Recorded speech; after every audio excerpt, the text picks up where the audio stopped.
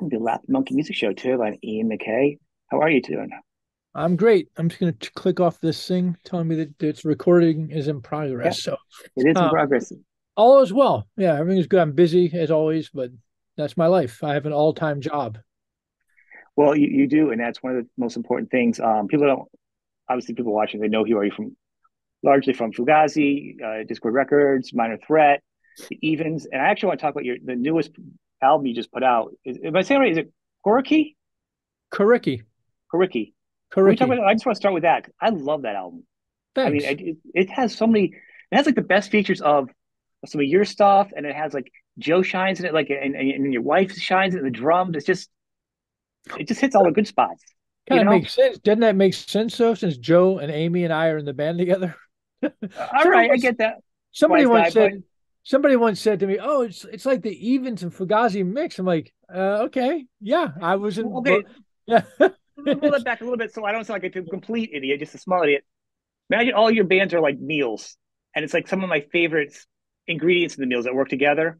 I just you. amped up into a small like a taco. It's like all my favorites are together. Like your voice and your guitar hits a certain point where and, and, and playing is and, and Joe's bass is a little more out there. So it just works in a different way than the evens do. And I know it's the same thing, but I'm saying it just hits differently. That's all. I hear you. Yeah. That's Thanks. I, I, I take it. I take your words, your kind words, as you know, as uh, I take them seriously. And I'm not. I wasn't. Mostly, I don't. I don't mean to be a smartass. It's just funny when people say it's like yeah. Joe and Amy and you are playing. Go, yeah, that's what we're doing. So it's all you know. It's just funny to me. It's it's hard for me to under to think about music because I just I make it. it.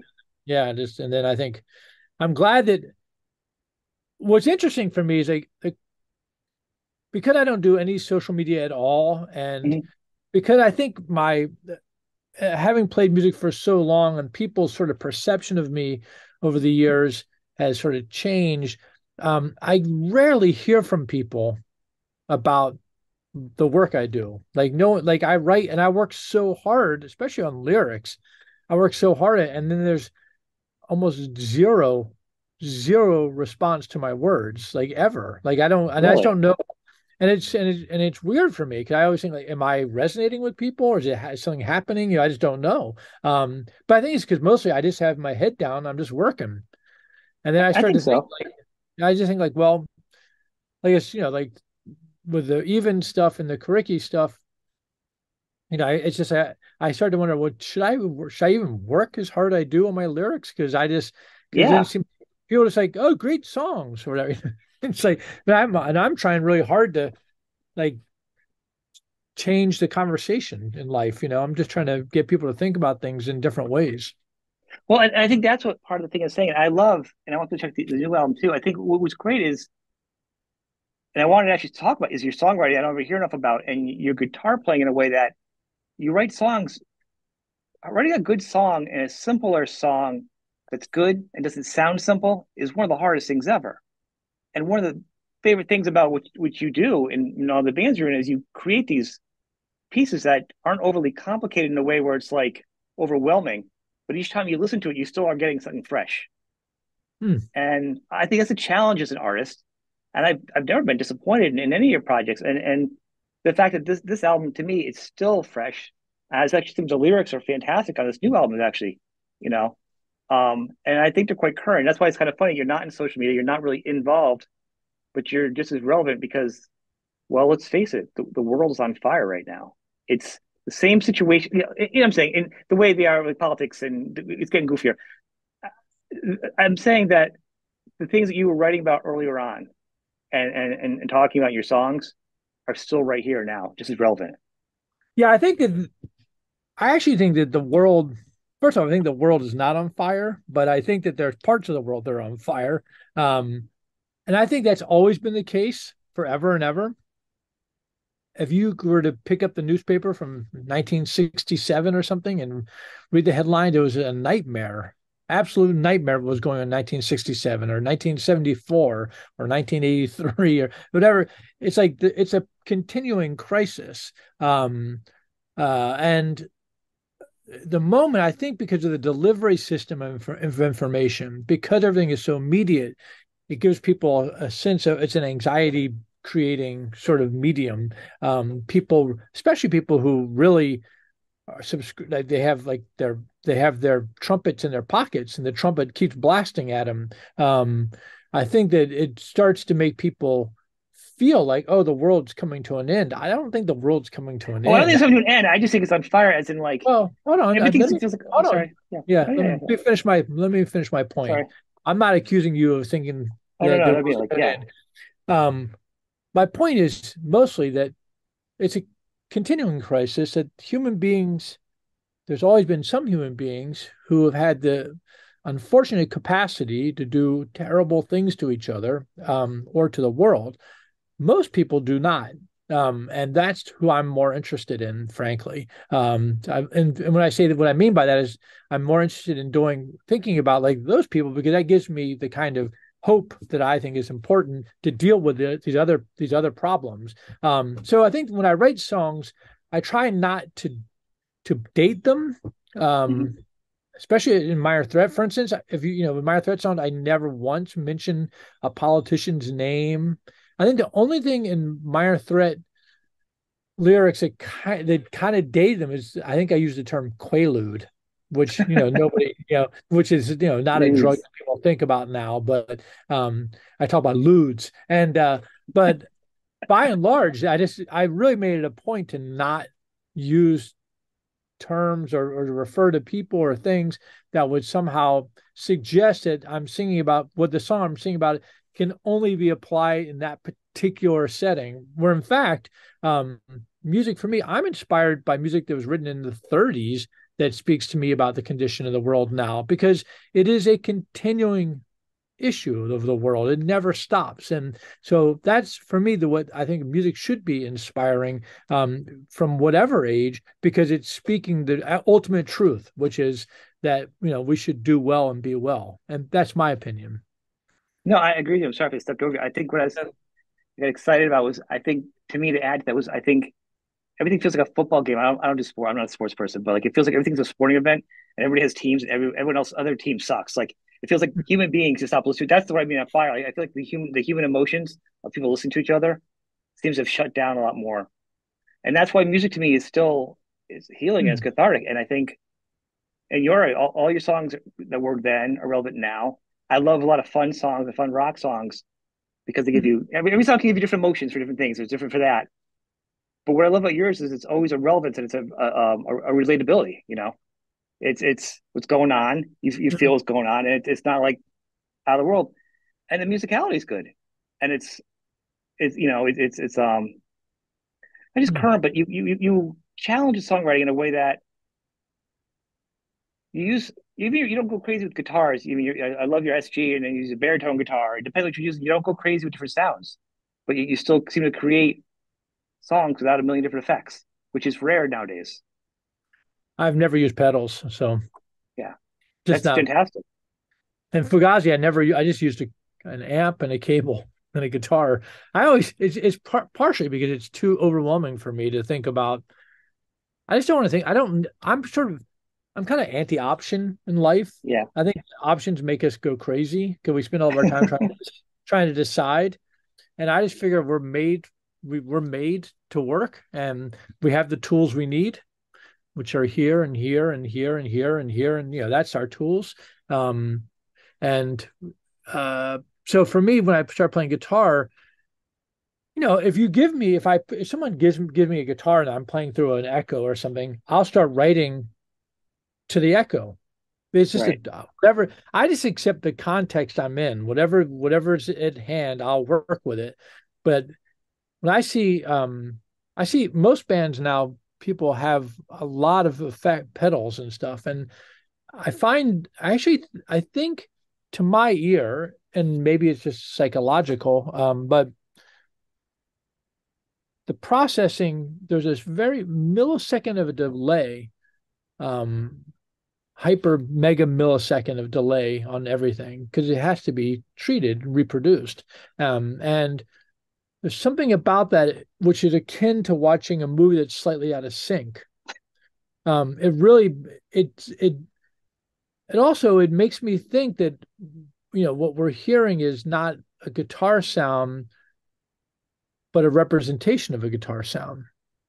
And I'm interested in the vibrations of the guitar and the amplifier. That's what I'm interested in. Um, uh, I, you know, I I've seen bands who, like, for me, when I played in Fugazi, for instance, I used a lot of feedback, and that was something that I was really I love feedback, and I enjoyed.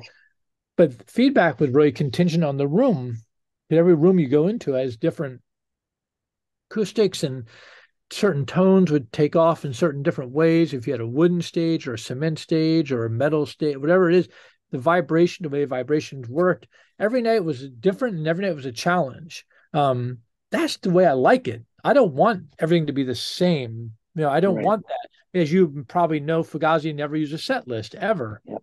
Like again, the idea was to not have it be the same. The idea was to take the experience as it comes and then to be a part of that experience not to control it but to to to surf it to just ride that moment and and to trust that we have the the ability to do that uh, so i think with with instruments um partially because i just i'm not of enough of an um i just don't have i'm just not that interested i'm not a gear person uh I mean, part of me people say you must love that SG. I do because it's my guitar. That's all. Like I'm not. It's not that I love it because like it has some particular. Right. It's just that's the guitar I got, and you know, and I got into SGs.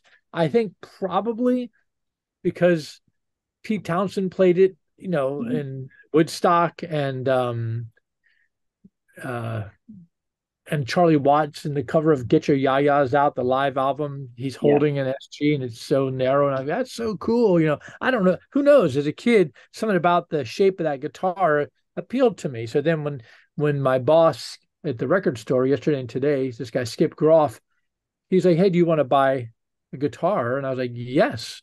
And it was an SG. And I was like, Yes, I want that guitar. That was the brown one. Um, just because I like the shape of it. Uh, but I, for no other reason. I don't know if it's any better or worse. All I know is that I know how to use it. Yeah. I, I love SGs. I'm not a super geek, and uh, I think it's a rabbit hole. And I get overwhelmed myself, but I do like to appreciate musician writes whatever they write with this guitar, whatever, and these sounds or effects are part of the paintbrushes. I thought the SG was great because I just like I thought uh, a big Frank Zappa fan. I love that guitar. I thought it looked cool. I had talked to when I talked to Dweezil. Dweezil's like when he first saw it, he thought it was cool because it looked like Batman to him the, oh, the points on it. so everyone has a reason why they like something. It's just kind yeah. of different, you know. Huh. Interesting, yeah. I don't know. Yeah, so and I don't. I mean, there is there are definitely um visual markers in instruments. You know, like when you yeah. see a band and somebody comes out with a I don't know, a BC Rich or something, you get that gives you a sense of where they're coming from. I mean, right. you you there are visual identifiers that are they're real because that's the way we're we've we're trained or we've trained ourselves. Um, I tend to just try to be as um, less flashy as possible because I just want, I'm not interested in appearances, honestly. I'm just interested in the work. That's what I'm interested. What, what made you choose when you obviously you switched from Fugazi to the Evens? What made you choose for the baritone guitar though? Like, what was the because you're not so flashy? I mean, I, I know you're very bare minimum. What made that decision? there's no bass in the band. There's a two piece, and just, I, felt, okay. I felt I needed more low end. I'm I'm I'm I think I'm really a bass player. Honestly, I played I played bass in the Teen Idols, and then I moved to guitar and Fugazi. But if you listen, I mean, I wrote a lot. I wrote quite a few of the bass lines in that band. Um, but also, I'm a rhythm guitar player, and I a lot of times Joe and I would be essentially playing the same thing. I mean, he's a master bass player. Um, yeah. And so just playing with him, he and I would just lock in together, um, playing. And and Guy was sort of the more of the kind of fireworks kind of guy usually um, with his guitar stuff. So I think that I come come very rhythmic, and I come at I come at the instrument as um yeah i just i just hear shape shapes i i can't i don't know i can't even explain it it's just what i how i play and so when i when amy and i started playing initially i played guitar i had a I had this weird other SG that I had put flat wound strings on, and it was a really bassy instrument. It had just a lot of low end on it. and I thought it sounded kind of cool. It was weird, flat wound guitar string. They're super weird. I thought it would be interesting to fool with, see if as a tool what would have what I could come up with. It was it was interesting. It was limiting. Um, and I just missed low end. So then I actually had a baritone guitar, which I I'd been at a store about maybe six years before that, and this just a local store, and they had this uh, Danelectro. It was a reissue. They were putting out the baritone, and the guy said, "Oh, you might find this interesting. It's like a baritone guitar." And I'd I'd never even heard of it. I'd heard of a six string bass, but that's not a baritone guitar. You know, a baritone right, guitar. No.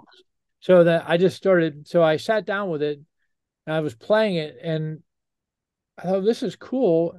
This is probably ninety six or ninety seven.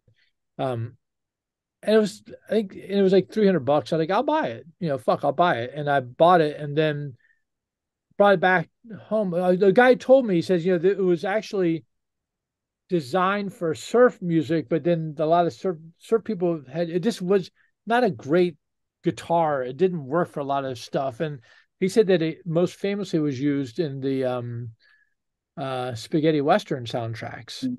You know, like the um what's it Leon Sergio Leone. Is that the name of the guy? The I think so, yeah. Yeah. Anyway. I know you're talking about. I know the sound you're talking about. Bow, down, down, down. And I was like, oh, that's interesting. So then I brought the guitar to a Fugazi practice and tried to play through the Marshall, and that was ridiculous.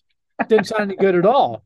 Um, so I just sat in my front room here at Dischord House, and every once in a while I'd fool around with it, play. I liked it unplugged. It sound I like Danelectro's unplugged. They're nice. Those mm-hmm. kind of um, they have hollow bodies, so they resonate, and I just like the way it feels. Um, and so anyway, Amy and I were playing, and then I thought, oh, maybe I'll try the the the Danelectro and just not distorted, and it sounded great. And I then I could oh. play.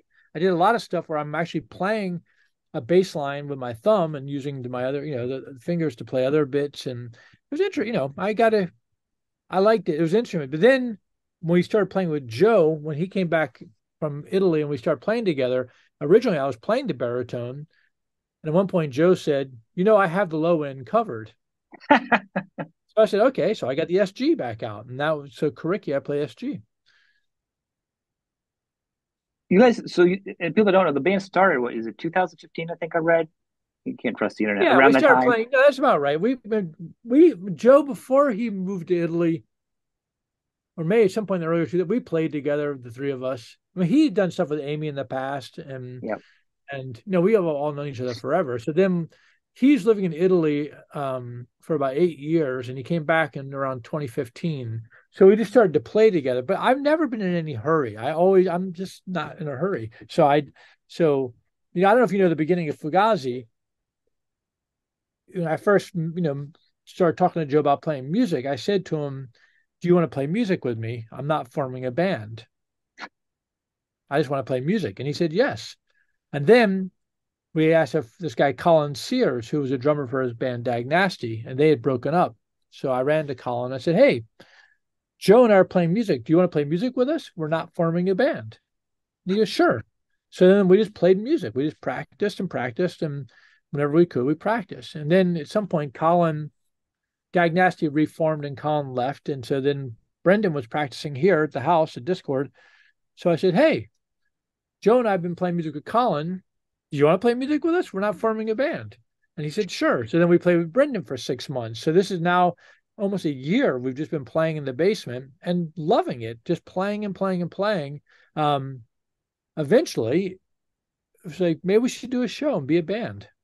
But it w- but for me, I just just want to play. So when Joe came back from Italy, and Amy and I were playing together all the time anyway. We never stopped playing, even though the Evens hadn't done any gigs. We continued to practice and work on ideas. We played with other people. And when Joe came back, we started playing with him. And uh, it was just nice. And at some point, we thought, oh, maybe we should play a show. And uh, I think we did a couple shows in 2019 um, that were cool. And then we did about eight or nine shows in the end of 2019 into 2020 and then pandemic and that was that for you know we haven't played since but but the point being that we just start we just played together we just i have so many recordings of us practicing and working on ideas um it's a little too honestly it's a little too glacial I can't finish writing songs, and that's a problem. Like it just take forever because there's no pressure to finish a song. You know, historically, it's like you got to get the song done so you can go on tour. You got to get the song done. Right. I don't have that. So, um, and also, I'm kind of I'm at a point in my life at the moment where I'm like, all right, I got to relearn. I got to read. I got to teach myself how to write a song again. Well, I think the songs are great. And that's why I was wondering if there'd be more because this band, I'd like to see more albums come from this band sooner than five, every five, ten years. You know? Yeah, we'll see. I don't know. I mean, at the moment, I'm, I'm, you know, we're taking a break, um, because I really hit a wall. I just say I can't write a song right now, so that's all right. Again, I'm, I'm in no hurry. So whatever, when it's time, it'll be time. And we did write a few more songs during the pandemic, and we, I don't know, you know, we did some recording. I don't know what will ever happen with those things. Um, I think it was an unusual. It was a bad. It was a the timing was weird because we really did had done eight or nine shows and they're great, and then we got you know the, our last show like the beginning of March of 2020, and then bop, you know we got everything got shut down. Our record came out that summer, but you know it's like to a vacuum, right? Because you can't go play the show, you right. don't really have any sense of it. Um, and then you know such a long, such a long period of time that you know we never so we never did a show after that. And um, and then last August, a year ago, I just thought, oh, I can't. I'm. I need to take a break. I'm. I need to. I really do. I'm not kidding around. I need. There's time to my life where I think I need to. I need to stop playing music. I got to remember how to write a song. You know, the, I can do it. I just need. I need to get my brain into that yeah. that form. You know. I'm I'm getting there. I've been playing by myself. I'm getting there. And and when I write some songs, then maybe we'll get back to practicing. I just need to finish some shit. I have too many unfinished things. I have thrown away more riffs. I've forgotten more riffs than I've written. And it drives me nuts because there's some good riffs in there that I just forget about. Record them. You got to at least something, right? I do this sometimes, but sometimes I just forget to do that. And then it comes Well, in the beginning though, where you you wrote, you did a lot of writing, and then at one point, like in Fugazi, like there's more collaboration, right? So then it, it kind of changed again, where you were doing more writing again, like with the Evens, and and then this band, like it was just it shifted. Yeah. Was it better to have some collaboration? Did it kind of push you a little bit more? They're different, you know, just different things. I mean, the beginning of Fugazi, I was writing pretty much everything. Joe right. was also kicking bass lines, but it was, you know, I was doing all the singing in the very beginning. Um, so then I would come in and say, and also, you know, Brendan was new, and so I'd just say, "Oh, here's a song." And I'd come in with a song, and then so at the beginning of the band, I would say, "Here's another song. Oh, here's another song." I'd write the verses and the choruses, and I have the whole thing arranged with the words and everything. Um, but at some point, they're like, "Hey, you know, we, you know, we'd like to be a part of this process," and we're like, "Oh." Yeah. It hadn't occurred to you know I wasn't trying to be uh, I wasn't trying to be the boss of everybody. I literally just just my way. So I said, oh, and what, one of the things is that when you write when you like I would bring in sort of finished songs and then they would take the songs apart, you know, because yeah, they want to be a part of the process. And I I told somebody it would be a little bit like if you rode a bicycle to practice, and then the bicycle was wheeled into the room, and they the people other people in the band take the bike down to its nuts and bolts, and then they move some parts around they take some parts out and they put it back together you can't ride it anymore you know that's what it felt like to me it didn't work. And so it was too painful. So i realized oh don't bring in finished songs bring in ideas and then grow them with other people. And that was so amazing. I mean fugazi like the time we spent working on music together I mean, yeah, obviously it was hard sometimes but really that for me was so rich that that experience of just because Brendan and Guy and Joe are they're all brilliant musicians and they're super we're all super funny and and we have such a great like vernacular between the four of yeah. us. Um and it's so exciting when you you know you're pushing something all these sounds together and they end up being something. It's such a nice feeling. Uh, the evens amy is an absolutely brilliant musician as well um, but she's she's a drummer, and she and while she's very she's very musical, um, the her work she's she doesn't have a lot of she's not coming with riffs, for instance. Right. She's oh, yeah. just, you know, and um, and Joe, I think Joe had some, but he's I think Joe kind of felt like this is sort of your guys' thing. I'm just going to kind of like, I'll, you give me some stuff to work with and I'll bring in my ideas. I don't know. It just was not, um, it's been hard because I also, I've written a lot of songs and I also, um, uh, as you get, you know, as one gets older, one sees the world more and more, increasingly more nuanced. So it's the the broad stroke is is is um harder to achieve. You know, you know that's why when you said earlier the world's on fire, I'm like, well, actually, you know, that's just me. That's the way my brain works. Well, no, and, and I think yeah, I get that. I think right now, I, everyone's like, "Oh, what a shit show the world is," or like, "Oh, everything's going to hell." And I just don't think that's a productive way of thinking. I'm not saying that to you. I'm just saying to the world. I think I actually think that the world is is, is a, an incredibly beautiful place, and we need to work hard to try to stop people who are doing terrible things. That's what I think. I agree, and I think, and, and, and what I think is, I always I'm super optimistic about everything. I think at least with the internet, and we're learning that people in this country also aren't the same as their government. We're all kind of the same. It's more the governments, you know. And I get that. It's just like lately, the people I know in the day to day world are so much worse to other people. And I'm like, where is this coming from? This is the this is my favorite part of, the, of being human is the humanness, the, the, the connection. it feels like people that just feels like it's evaporated a little bit with COVID or something that happened where there's a twist. And that to me is where it feels like the world's on fire to me because that was my favorite part of the world is the connection of I guess day to day humans. And a sort of a meta form though, to me, right. saying the world's on fire is that is the same that's the same like if everyone's yeah. that's the point. That's exactly right. Like everyone feels like everything's so fucked up or everyone's not being nice to each other or whatever then it just then then you're it's almost like you're cementing or you're like you're shellacking the the the picture. You're you're you're freezing the image. Whereas i i actually think again i do think you know i've said this for years that you know we this society has been stoned on technology and um, and I think that's still the case. It's getting to be less the case. I think people are starting to recognize that they're these devices are tools and they're not um, religions. But um, it's going to take a little little while longer. But it has affected deeply the way people interact.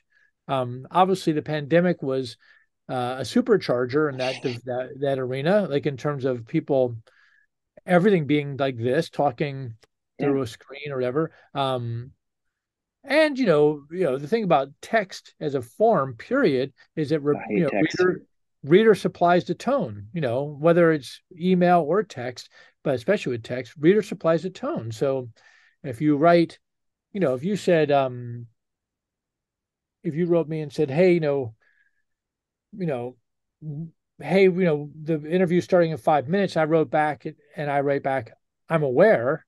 Um, right you might think I'm like, okay, I know, I'm aware, or you don't call me an idiot, or or you might, or, right. maybe I was like, I'm aware. Who knows? Reader supplies the tone, and that's it's a problem. You know, I do most of my work, you know, most of my business on the phone, just because I can at least hear the tone. Also, yes. it's much quicker. Just get the shit done. Um, but getting people on the phone is that's a challenge. Uh, but I do I do think that I I think that we've been deeply affected as as human beings have been deeply affected, at least in our society, by the technology. And that probably has led to people having a harder or more, it's been more difficult for people to to interrelate to the there's probably been some effect of that.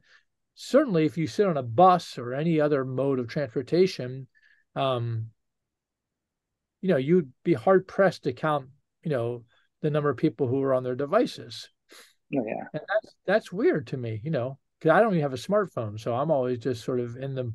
I just like to look at the out the window or look at people, but it's all right. I'm not mad at them. It's just a different. It's just it just shows they're engaging in something very private or something, um, but they're not in the room with me, and uh, that's just but that could affect maybe our our interrelation our relationships you know perhaps. To me the, well yeah to me the exciting part of having a cell phone was I could put my music on it and i had to wear a Walkman go through eight batteries a day and I had a phone on me. So to me I'm always listening to music. That's my big connection. I get it. try, and I try being self-aware of not being looking in the phone because when I see people doing that it reminds me to not be that person because I don't right. want to be that person not be, not judging them but I don't want to be not focusing on the world. So I try to keep yeah, encouraging myself to be clear, I'm not a luddite, oh, and I'm not like I'm talking to you on a device. And this is yeah. a, you know I'm on a, a laptop, and this is a fucking miracle. Where are you right now? I'm in Connecticut. Where do you live? Connecticut. All right, so I'm you know what what what town? Hartford. All right, so you're in Hartford, so you're approximately a, eight hours on you know drive from yeah. Washington D.C. and yeah. um, but we're having a conversation in real time. Uh, it's a miracle. So I'm not, you know, I get it. It's like, I, and I've, you know, it's I'm not a luddite. Uh, you know, I think that my decision about the device that I carry, I have a flip phone, is really one of self preservation because um, I find the constant like this, the being constantly connected at some point just starts to make me feel insane. Like i just don't want to get there. Now that's just about me. I'm not other people that's their business and i'm not mad at nobody about it but when you talk about the way people interact with each other i'm just suggesting that probably there's some role that and i think that humans will figure out how to make how to work weave that back in ultimately we are together you know that's my sense um but i'm you know I'm a generally an optimistic guy, so that's the way I am. Well, I was excited over the use of Zoom, like for us, and and, and over over the over COVID. I was talking to people in Brazil and all different countries, and we were all getting on. I'm like, this is this is the good part of technology. This is a mm-hmm. communication tool that people that aren't in government or celebrities are flying on jets. That anybody can open up a, any kind of device, pretty much, and talk about how they feel and share, yeah. like I said, in real time. And that's fantastic, and that's that's a good thing for humanity. Now, too much of a good thing to be bad, you know. but to that point, I do think that was that was my concern on that part. To me, that was my favorite part of being human. That's why that's why it feels bad. I think the world's fine. I do think that, yeah. I mean, it's always been weird like this, but I hope humans turn, like like you said, back to back to being, you know, more more more more uh, kindness. I mean, I miss kindness. I just yeah. feel like that was my favorite thing. You know, be kind. Yeah, go, on, uh, go you should go in the world and be kind. It's it's it's a great thing. Yeah, get out of your house. Go be kind. That's that's my that's my that's that would be the first step. I mean, years ago, I will say this: that years and years ago, a friend of mine said to me, "This is when I was in Minor Threat." Maybe she said, "Oh, it's funny. All your songs have like the word no or don't or not, you know." Or these, and I was like, "Oh, that's interesting. I hadn't really thought about it, you know." And so over the years, I kind of I meditated on that. I thought, no, not meditated, but I thought no, about it. Um, but I thought about this, the conversation, and at some point in the mid 80s, maybe even the late 80s, I remember thinking, like, you know, all this, like these angry songs and this, like, this sort of protest and all that stuff. And I, I said, like, what what is it that we're fighting for? Like what is it what are we trying to achieve like with all this like if we're frustrated if we're angry what is it that would be what what's the answer? What's good? What would be what are we trying to yeah what do what do we hope to bring about with all this work? And my best guess in its sort of generalities would be happiness and peace and justice fairness um action on peace um you know like that that to me it seems like that's the idea that's what we're we're fomenting for. Um, and I thought about people I knew who were, especially in the political world, who were really angry and just so like just furious and, and convinced that the government's this, that, and but you know, whatever. And I don't know about you, but people I know who are like that, they're like, I, you're like you can only take so much of it, yeah. you know, because unending. And I knew people who are in singing in bands who are sort of political, and they're just perpetually furious and scared and convinced that some bullshit was happening and this conspiracy and that conspiracy and all the stuff that was going on. And I thought, I don't want to hang out with those people. Like that doesn't they're not welcoming because they they don't trust anybody. You know, it makes and then I thought, well, what what kind of people do you want to hang out with? And I thought like people who are kind and you know want to share and trust trust you i thought that's that's the person that's where i want that's the community i want to be a part of that's the community i'm trying to create wow, that's, that's a great so, one right so that's how i decided i was going to fucking live just to be kind and to be trusting and to not jump for the jump at the conclusion that everything was terrible or to jump to a you know that to be really like I don't do a lot of bad mouthing of stuff, right? And and and you know I try to be. I do th- I do stress that, that one can be critical of society without taking ju- not without being judgmental on on individuals. Right. I think that's a really important distinction.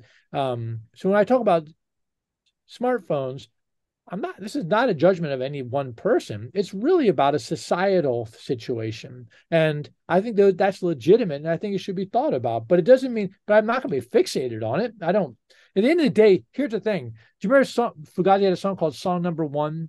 Do you know that song? Yep. Right. Do you remember the chorus of the song? It's nothing. And that's, I genuinely believe, like, yeah, it's all fucking nothing. This is all a bunch of nonsense you know really when you get down to it. All you know all the shit behind me all the shit behind you all the oh, all yeah. this all the, all, it's all it, it's up if right now like a, a meteor could land on Dischord House and wipe out everything that i've ever been involved with and it wouldn't it wouldn't affect a hair on a camel's back and another no one cares it doesn't matter it yeah. completely doesn't matter um so with that in mind knowing that everything is ephemeral, then I think do well, be well. Why not? When I, when I started the show, it was about that, just being happy. Like I never, we don't, I don't ever talk about anything negative. I don't talk about. Just don't need to. Everyone's got their opinions. They, I don't. They don't need mine. I don't need to share my thoughts or negativity. It's about giving somebody a couple of minutes of happiness. It's about laughing. I love to laugh. I mean, there is negativity. Let's laugh about it. Let's let's move on. And I think at one point a few years ago, I learned, and I, and I think that's one of the things that always resonated with me. I think I felt with your music it's not about the ending. And I realized I'm like, why am I never happy? I always achieve something. And I feel like I was next. I forgot to enjoy the journey. I think I, I look back, I'm like, I was happiness getting to that point, like trying to work and learn and create as the journey goes. It's like almost the better part, like being a part of the movement and not the end, which is like the reward of whether it be cash or a house or a job. It's like, it's looking back to how you got there, you know, or just not looking back, just, just doing. Well, for my for, for my for my for my thought yeah. when I first realized yeah, it, I was like, wait a minute, what was yeah. I was actually kind of happier getting to that point. You know? Yeah, yeah, yeah, yeah. I, I hear you. I hear you. Yeah, I'm not a goal oriented person. I'm not especially more now. I'm just trying to be happy every day. Right. You know. You did say something once that I thought was very, very, very. I mean, maybe it wouldn't be so heavy, but maybe you did how you presented it. It always it helped me change my my vision of being so stressed out over the government and like Democrats and Republicans and different parties. And you said, you said, look, this is the government is a business. Right. And I went, oh, like it's there. I get it. And then I started thinking about how people play it and move it. I'm like, it's not this and this. It's just this. Right. And people aren't aware. I don't know if it's actually you've said it different places. I forgot I saw it. There's, there's a lot of great lectures and, and talking pieces you've done on YouTube, which I've really enjoyed and people can really get into. I'm just kind of having a conversation with you. And I really enjoyed the talk. I really enjoyed you talking about because it, it really just kind of gave me a different perspective about, about just the government in a way. You know, and right. I think it made me feel less stressed. Having grown up in Washington, D.C., you know, I've been here my entire life. I'm 61 now. And uh, it's so obvious to me that the government is just a giant factory in the middle of town. You know, you're in Hartford, insurance is your your jam, right? Like, in, right? That's why I do IT. Yeah. I do IT for insurance. So, yeah. Right. So right. So so that's the big that's the business in town. And um, you know, I'm I'm from I'm a Washingtonian. I'm not I'm not a federal. I don't. My parents didn't work for the federal government. I'm not involved in that world at all, really. Um, but it's all there. And once you recognize, I mean, at the end of the day, um,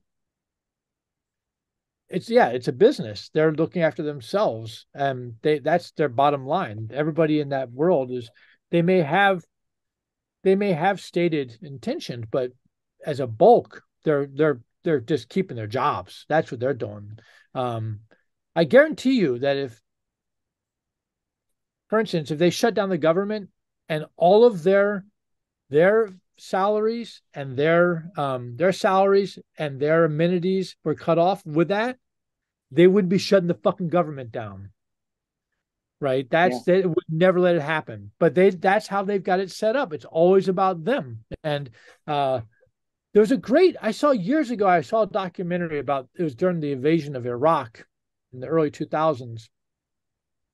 And it was there in um maybe in Fallujah or something like that. One of the, one of those towns where they had horrible, horrible fights, and it was a it was a bunch of um, it was a lecture being given. It was like it was a meeting with a bunch of the lieutenants and sergeants of some you know the army or whatever, and some commander person came in. He was sort of having a I don't know what do you call it, like a little. They're having a meeting, and he's talking yeah. about. He comes in to talk to all these guys and and you know these these other leaders and he said before i start he goes let me just ask you all like what's our mission here and the room sort of stunned silently right like they're like and everyone's like uh and then some guy puts his hand up and he says to spread democracy and the guy just laughs. He goes, "Oh," he laughs, and he goes, "Come on, come on, come on. Let's let's move away. What really? What's our mission? What's our mission here?" And then someone else said, "To uh, stop the the Revolutionary Guards attack on." And he goes, "Oh, come on. We're not. That's not why we're here. What what is our mission?" And he kept asking. No one could give him the answer. And finally, he said, "No." He goes, "Our mission is to protect ourselves." That's what they're doing. And when you think about it like that, you think about the government, like their mission is to protect themselves. And that means they always look after themselves, their money and all that. So once you realize that, that's the same with your business, not your business, but the insurance business, the mm-hmm. same thing. It's about making money and looking after themselves. And they'll provide a service as long as it generates the money that will you know take care of the things they need. Um, but uh end of the day, their mission is to protect themselves. And when you think about the government like that, it really puts it into a frame that makes it much more manageable. Because if you if you get it confused, sometimes I think people confuse government with religion. Although ironically, religion is also a business, but um, biggest but, business. You know, yeah, pa- you know, patriotism has this sort of you know sort of religious overtone to it, but um yeah i don't know i think that you know the, those structures um they've done religion and government have done many wonderful things for people um, and they're also responsible for almost all of the horrible things when you think about it. Yeah i was talking I totally about religion. I, I, talked about i was talking to a cleric the other day and we're talking about religion. I'm i'm i guess i'm an atheist. I'm just not a subscriber whatever the fuck. I don't i just don't it's not I just, my life is it's not i don't need i don't it's not my thing. But anyway we were talking about religion, and I said, you know, the thing about religion for me is that it's like so much incredible stuff came out of it. Obviously, the civil rights movement and, and all these different progressive movements. Religion had a huge role, important role, deeply important role. But then, but then on the other hand, like you think about almost all of the major conflicts, the bloodletting in the world, and somewhere in there, if not at the fucking front, there's religion like what's happening right now in a number of different places there's mm-hmm. religion right and squarely in the middle of it and that is not about god if you ask me. No i agree. It's about power and and they're using religion for power but um so again think about like a business and then that helps us figure out what the, what's really going on. It, it, did put things in perspective. Um i'm keeping mindful of your time. A couple minutes left. I just want to ask a couple quick questions i want to ask you was always interesting is you had a great model with with um, with Fugazi about keeping the ticket price down and not having shirts and stuff. But being a day and age that a lot of bands are having a hard time keeping control of their merchandise that's not really theirs anymore, that other companies are doing it. Are you seeing struggles with non Fugazi stuff or minor threat, or other shirts and stuff being made that aren't affiliated with you that people just kind of taking them all running because it's just so hard to track you stuff bootleg? like that now? Yeah, bootleg? well, a lot of companies are so good at it nowadays. It looks like it's official merchandise. It's not well, like Fugazi. Fugazi never made shirts, right? So that's it's really it's a funny thing. Meyer but as a fan, I know that, but other people don't later on. You know, what I'm saying? Right. Well, I'm just let me I'll explain something to you. So, yeah, Minor Threat, those guys actually back in 1983, Lyle and um, Brian and they made Minor Threat shirts. So it wasn't like that we those guys were selling. I didn't make them, but they did, and um, and they and I didn't make any money. That was their gig, not mine. Uh, but um, over the years, there was a few companies that would make shirts and send us a check every now and then, and we were, you know, we were fine with that. And but it got confusing because then anybody could do a shirt, and then I would get a call from Jeff Nelson, and he'd say, "This this is a bootleg," and you know, there's some guys selling bootleg Minor Threat shirts. I'm like, "Oh," and then he'd say, I, what do you want me to do? And he's like, well, I guess shut it down because you know, these other people are actually paying us. And, that, and I was like, I don't, first of all, I don't care about shirts. I don't, I never wear band shirt. I just don't care. So the idea I'm spending my time going after bootleg, it just seems so weird, bootleg t-shirt stuff. So eventually we ended up working with this company who does, they're a merchandise company for the Minor Threat, just Minor Threat shirts. And it was such a relief because they have like that's their they have the Minor Threat merch rights.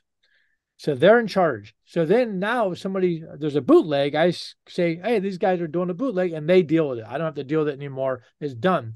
I was talking to this guy, and he's a brilliant fellow. This guy who runs this company, and I was talking to him about bootlegging, and he says there's only really one band that has managed to um, avoid bootlegging on a commercial level, and that's Fugazi, because everybody knows that Fugazi doesn't make does not license their image for T-shirts.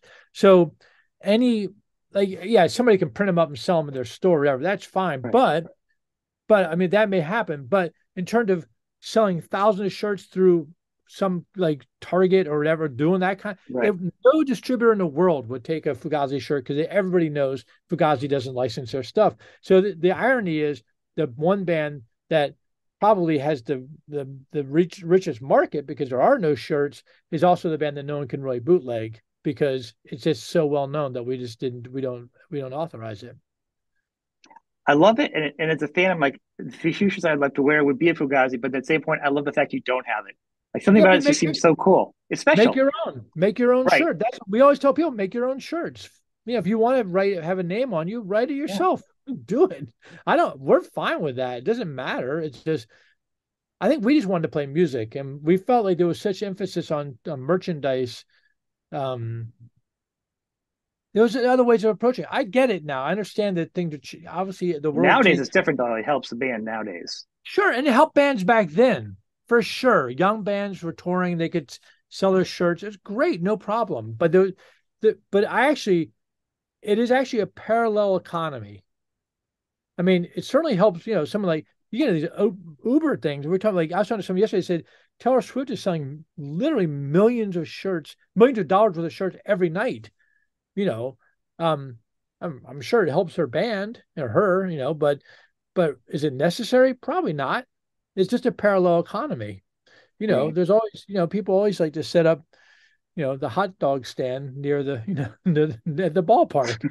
just it's just selling. It's just not, you know, that's all. It's just there's t-shirt, there's merch, and then there's music. And nothing wrong with it. Not not in judgment. If people want to sell or buy it, that's fine. I think for us, just not interesting. We just wanted to play music, and we found a way to do it. Now, people could say, "Yeah, we, you wouldn't be able to do that now." Maybe, I don't know. But that, I'm not. I don't know. We we're not playing. I'm not playing right now, so I can't really. So it's just it would be a hypothetical. But I will tell you this: I would come up with ways of. I think I could figure out a way to to to. Um, well, it's always about creative response for me. I'm I. It's a challenge, and I like to think of ways to to defy the convention.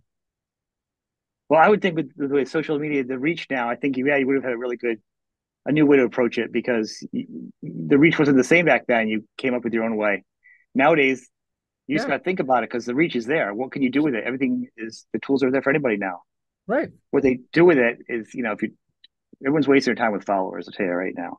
They need to stop worrying about followers and buying followers. That's just ridiculous. They need to fo- focus on doing stuff.